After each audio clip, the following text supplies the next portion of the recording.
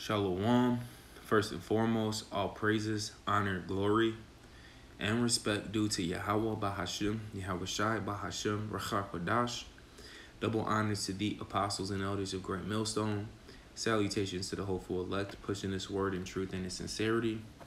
To the Israelite foreigners scattered throughout the four corners of the earth, who may look like the heathen nations, and to the very few sisters that listen and learn to you, Shalom. For the new listeners, Yahweh is the true Hebrew name of the Heavenly Father, and Yahweh Shai is the true Hebrew name of his only begotten Son. I'm the brother Yasharallah with Great Millstone Chicago, and I want to hop into something quick. All right, going into pretty much if, you know, the kingdom of heaven is for everyone, then why are there going to be slaves in the kingdom of heaven? If God loves everybody, why in the kingdom of heaven is there going to be slaves? Why is there going to be servants? Okay, because here it is the children of Israel, which consists of you so called Negroes, Latinos, and Native Americans, we built up everybody else's kingdom. For the most part, we were captives under all nations. But now, when it's our turn to rule, what? We got to build up our own kingdom? All right, absolutely not. Isaiah 14 and 1. For Yahweh will have mercy on Jacob, and will yet choose Israel, and will set them in their own land. And the stranger shall be joined with them, and they shall cleave to the house of Jacob. So the Heavenly Father, all right, is going to have mercy on the children of Israel. And the strangers are the Israelite foreigners scattered throughout the four corners of the earth who are going to cleave on to the ones who know they're Israelites, okay, because that's who they're going to learn from. All right, verse 2 And the people shall take them and bring them to their place. All right, and the people was talking about these heathen nations. We're going to take them to our place, the our, our homeland, Israel, our Jerusalem. It says, And the house of Israel shall possess them in the land of Yahweh for servants and handmaids, slave men, slave women, and they shall take them captives, whose captives they were, and they shall rule over their oppressors. So the ones who had us in slavery, which was all nations, we're going to put them into slavery. Right? We're going to rule over our oppressors, mainly Esau Edom. He was our number one oppressor. Right? So we're gonna we're gonna rule over them. Jeremiah 30 and 16. Therefore, all they that devour thee shall be devoured, and all thine adversaries, every one of them, shall go into captivity. And they that spoil thee shall I shall be a spoil, and all that prey upon thee will I give for a prey. So, all these nations that devoured us, they're going to be devoured. All our adversaries, when you read in the book of Psalms, it talks about the nations were confederate and it names the nations all right? Starting off with esau edom uh, for the most part all nations were confederate uh, among each other to do what?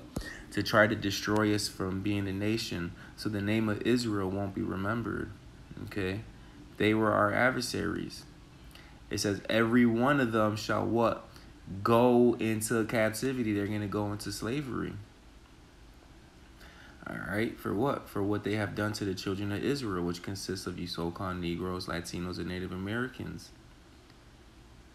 And they shall, and they that spoil thee shall be a spoil.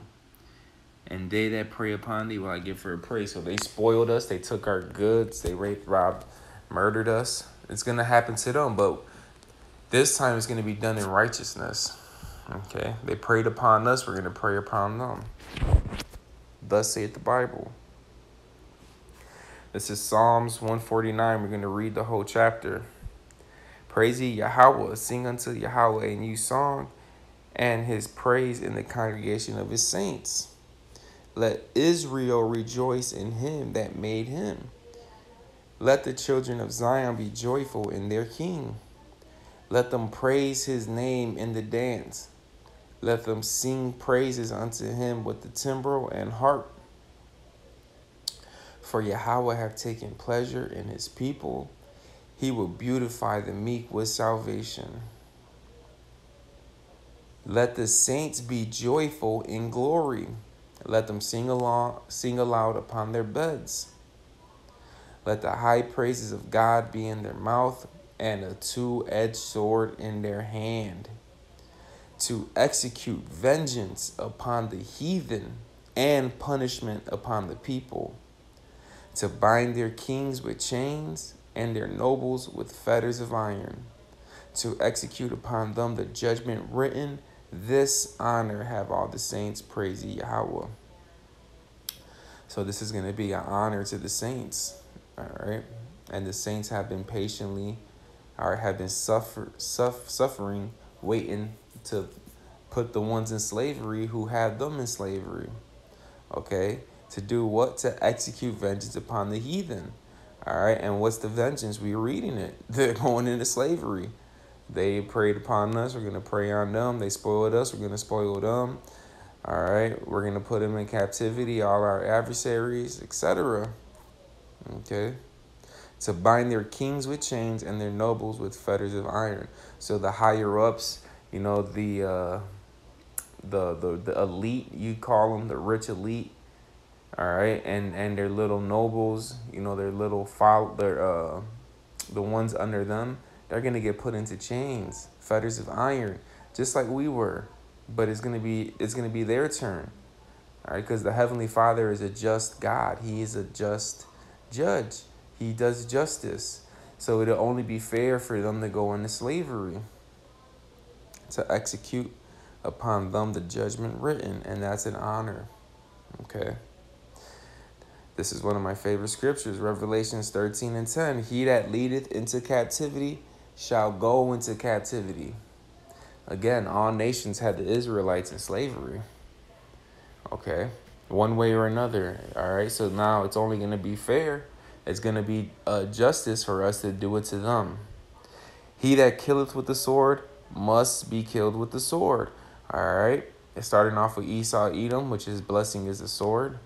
All right, we're gonna we're gonna uh, do unto uh, you what you done unto us. Going back to the law, eye for an eye, two for a two, stripe for a stripe, burning for burning. All right, life for life. okay, that's justice.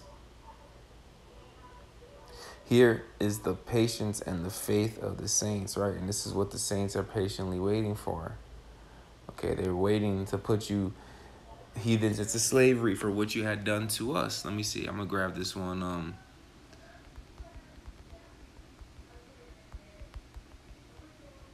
I think this is in uh, Isaiah.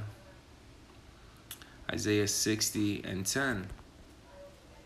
And the sons of strangers, talking about the heathens, shall build up thy walls. Right. Because we're not going to build the kingdom up. They're going to build it up. All right. When when a people are in rulership, they rule. They have uh, servants that are under them, and and they are going to get orders of what to do. And one of their orders is going to be to hey build up our walls, build up our kingdom, just like we did yours. And their king shall minister unto thee, for in my wrath I smote thee, but in my favor have I had mercy on thee. All right. So they're going to build up our stuff. I'm going to grab one more. All right, this is Revelations 2.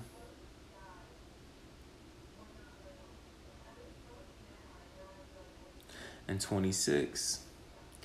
And he that overcometh and keepeth my works unto the end, all right, enduring to the end, being faithful, being sincere, okay, serving Yahweh Bashem Yahweh Shai, no matter what comes our way, all right, that's overcoming. It says what? To him will I give power over the nations. So the ones who are going to receive salvation, who are going to endure to the end, they're going to have power over the nations. All right, going, starting mainly with Yahweh Shai on down to who? To the elect, the rest of the nation of Israel. Okay, we're all going to have you heathens in slavery. And he shall rule them with the rod of iron. All right, we're going to rule these heathens with the rod of iron. All right, if you don't do what we tell you to do, that's your ass. As the vessel of a potter shall they be broken to shivers, even as I received my father. like it says in Romans 8.